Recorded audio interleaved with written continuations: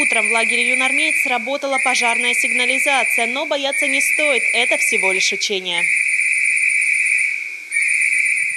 Но сценарий инсценированной чрезвычайной ситуации максимально приближен к реальности. По сюжету возгорание произошло в актовом зале лагеря. Незамедлительно проводится эвакуация всех, кто находится в здании. Службы МЧС прибывают в кратчайшие сроки. Важно помочь и тем, кто не успел эвакуироваться. Пожар удается потушить быстро, не допустив сильного возгорания самого корпуса и соседних зданий. Никто не пострадал.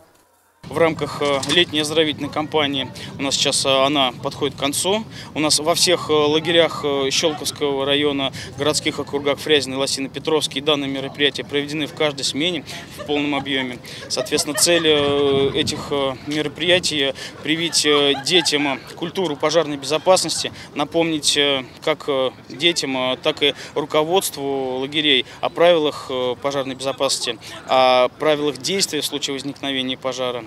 Безопасность превыше всего. Конечно, пожар проще предупредить, чем ликвидировать, но все же, если чрезвычайная ситуация возникла, необходимо знать, как вести себя в таком случае. Особенно важно уберечь от беды подрастающее поколение. Дети должны знать все о правилах безопасности. В детских лагерях Щелковского района ежегодно в каждой смене проходят подобные учения. Кроме того, здесь у ребят есть возможность лично пообщаться с людьми, которым зачастую приходится рисковать своей жизнью, спасая от беды других. Так и сегодня отдыхающим в лагере школьникам удалось узнать много нового о их нелегкой, но такой нужной профессии. А главное, еще раз закрепить знания о правилах поведения, если все же пожар случился. Ведь именно от этого и зависит жизнь.